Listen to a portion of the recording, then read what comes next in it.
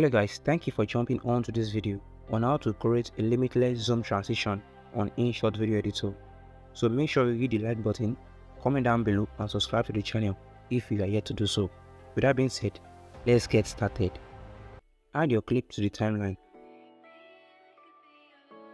and make sure the canvas is set to fit. Add keyframe at the beginning, another keyframe at the end and pinch out the clip to create the effects.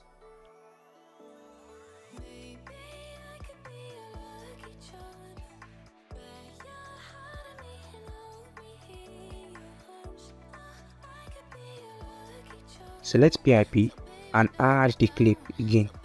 Adjust the size and mask it inside the main clip.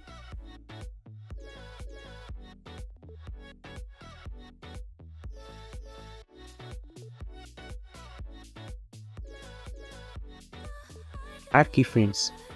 Play the clip and take your time and keep masking the clip.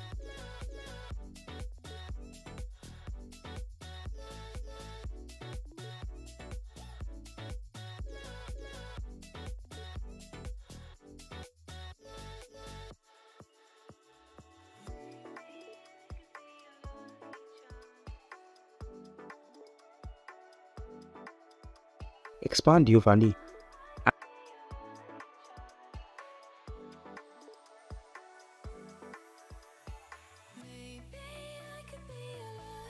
clip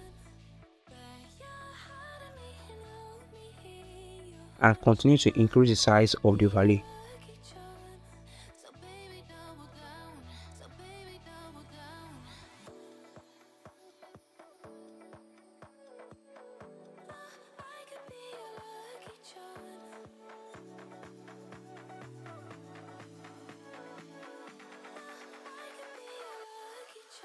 Let's see the final results.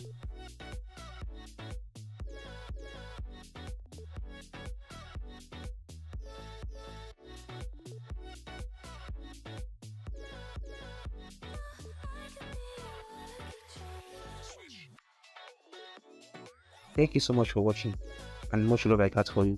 Peace.